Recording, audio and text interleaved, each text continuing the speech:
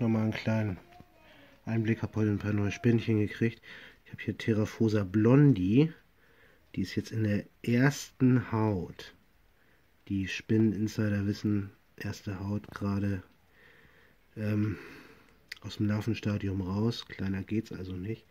Erste Haut Terraphosa blondi und hier mal im Vergleich eine normale Spinne, in Anführungszeichen. Erste Haut Stromatopelma äh, calciatum ist das, glaube ich. Ja, ist es. Ähm, wenn man die beiden mal nebeneinander hält, das eine ist ein Stecknadelkopf und die Blondie im Grunde schon fast ja, so groß wie andere Spinnen in was weiß ich für eine Haut. Echt ein gigantischer Größenunterschied. Blondies waren viele Jahre die teuersten Spinnen, die es überhaupt so gab. Ähm, bis dann irgendwann mal ein paar Kokons wieder aus Französisch-Guayana rausgeschmuggelt wurden und die wieder auf den Markt kamen. Sind das natürlich alles Nachzuchten, die auf dem Markt sind, die hier auch.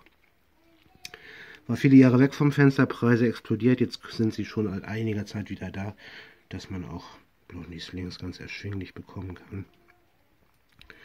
Eine der größten Vogelspinnen der Welt. Man sagt das so, die steht im Guinness-Buch, Terraphosa blondi als größte Vogelspinne der Welt. Ähm, wobei es gibt auch noch andere Arten, Nasodora parahybana oder so, kann auch riesig werden. Vielleicht läuft irgendwo auf der Welt eine Parahybana rum, die genauso groß ist wie eine Blondie, wer weiß.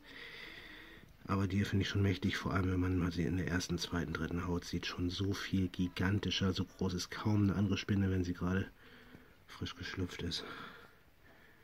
Größenvergleich hier. Im Grunde unsichtbar.